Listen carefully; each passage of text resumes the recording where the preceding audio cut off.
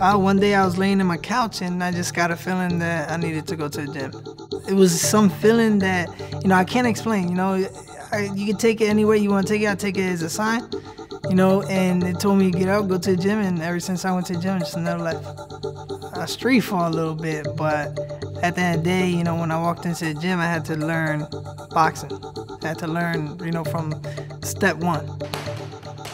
We all know that boxing is, uh, it takes one punch to end, to end the fight.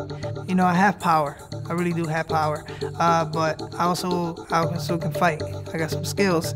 I mean, I believe that I'm here for a purpose. And the purpose is to be, become a champion.